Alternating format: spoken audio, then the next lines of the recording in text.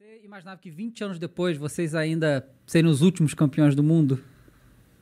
Realmente Do não. Brasil, né? Eu não, É. eu não esperava. Eu acho que a gente teve aí 2006 é, próximo, né, com, com um elenco muito bom, mas com uma organização péssima. Uhum. É, 2010, eu acho que aqueles 30 minutos lá é, do jogo da Holanda Uhum. foi praticamente um time também que não era tão de qualidade como o de 2006, mas a estratégia que o Dunga fez de fechar o time, de, de bloquear um pouco a imprensa, a mídia toda, foi a estratégia foi muito boa. Mas eu não imaginava que o Brasil ia ficar tanto tempo sem, sem vencer uma Copa do Mundo. Pois é, né? Já faz um tempo. 20 anos, é muito 20 tempo. anos. Ah, é, na Copa do ano que vem vai fazer 20, né? 20 anos, E ano né? que vem, você acredita na gente? Cara, eu acredito. O Brasil ele sempre chega favorito nas Copas, né? Oitavas, quartas e finais. Aí a questão é, é definição de, de estratégia de jogo, estratégia de local onde vai ficar. Que nem em 2018, é, a estratégia foi ruim, na minha maneira de ver. Ficou em Sochi, Sochi é um ba- balneário Camboriú. E os Jogos do Brasil na primeira fase foram todo tipo assim, Fortaleza, Bahia. Eram três, quatro horas de, de, de voo. Né? E você não vai para uma guerra dando um balneário, né? É. Você vai para a guerra num campo de refugiados ou numa estratégia bem legal para poder realmente focar naquilo que é determinante, que era o futebol. Então isso tem, tem muita influência, isso mesmo, tem, você acha? tem Ah. muita influência.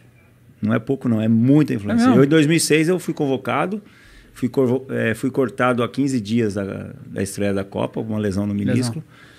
E a preparação em Vegas, que foi na Suíça, para a Copa da Alemanha, foi muito ruim. Né? A CBF vendeu os direitos para a Globo e parecia um reality show. Tinha 10 mil pessoas assistindo treino a cada treino, seja físico, tático ou, ou armação tática para poder ganhar um jogo inicial.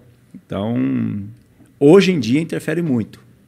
Mas acho- interfere o quê? Não, a questão do foco do jogador? Foco, não- é. Concentração, Concentração. foco, é, é, saber o que quer, unidade, não jogar individualmente, jogar no coletivo, deixar de, de fazer gol para o outro fazer porque está no melhor momento. Tem vários setores, fatores fundamentais para uma conquista de uma Copa do Mundo, ou de um Campeonato Paulista, ou uma Copa Libertadores. Então, se tu quiser ser um campeão do mundo de verdade, tu tem que ter uma postura mais austera, com todos os. Todas as coisas que envolvem um- aquele time que tá ali, né? Pelo que tu tá falando aí, você está num lugar certo, com a privacidade correta, com tudo. Manter ali uma blindagem interessante, ou que condiga com a competição, para que você tenha um desenvolvimento melhor do time. É isso que tu tá dizendo? Só o talento não vence uma Copa do Mundo. Isso aí a gente comprovou. Copa de 98, Copa de 2006, 2010, 2014 não se fala que a gente não tinha um elenco bom, mas só o talento não se ganha uma Copa do Mundo e não se ganha uma competição dentro do futebol. Hoje está muito igual os clubes, as seleções. Se você não tiver um algo mais de organização, de renúncia, de falar, ó, são 52 dias, 50 dias assim de preparação para a Copa, pré-temporada, imersão lá dentro mesmo, você não consegue vencer. Hoje em dia é assim, e todos os clubes que eu passei dentro do Brasil, fora do Brasil e em seleção, é, eu, ti, eu tive que ter essa postura e os times campeões que eu participei teve que ter essa postura, senão não conseguia. E em 2002 como é que foi nesse aspecto? Para mim foi sensacional. É. Tem algumas histórias que o Vampeta conta, não sei se é verdade, ou a memória dele é muito boa. Mas. Você não lembra Eu não história? lembro, cara. Eu estava tão concentrado naquilo que eu tinha que fazer, porque a, a minha função dentro do sistema tático que o Felipão desenvolveu dentro do clube, da, da seleção, é, não é nem soberba, prepotência nenhum. Só eu conseguia fazer, porque eu jogava de volante e zagueiro, e eu tinha que interpretar a hora de ser zagueiro e a hora de ser volante, a hora de sair e a hora de defender.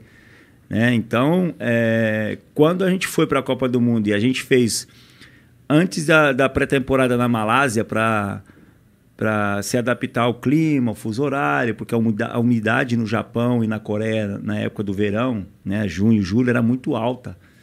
Né? Então a gente fez aí praticamente 15, 20 dias na Malásia, fuso horário tudo, e a gente cons- conseguiu fazer uma adaptação que não tinha, na época também, há 20 anos atrás, 19 anos atrás, não tinha. Primeiro não tinha celular.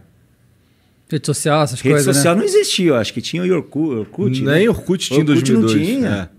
é. Entendeu? Então, Cara, eu lembro na, no jogo de estreia nosso em Ulsan contra a Turquia, cara, tinha três, quatro jornalistas cobrindo. O cara, a pessoa, a Fátima Bernardes da Globo, um ou outro de um jornal mais com, com, com grana para poder mandar o cara para lá. Era nós e os coreanos de lá que davam assistência pra gente. Não tinha uma, uma cobertura. Então, não tinha como você não ficar focado também. Entendeu? Então, não, tinha, não, tinha nem, não tinha encheção de saco, essa não é a tinha real. encheção de saco. Ah, um ou outro cara que furava a reportagem para tentar deixar um pouco irritado o Filipão, mas não conseguia, porque a gente estava tão unido.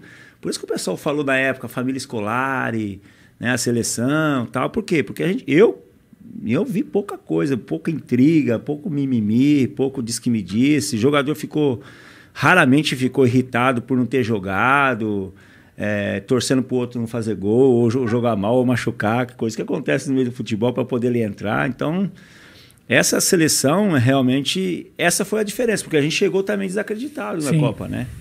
A gente chegou desacreditado. Eu lembro que em 2001 eu fui para a Copa das Confederações é, no Japão. Dos 23 jogadores convocados, só, só quatro foram para a Copa do Mundo de 2002.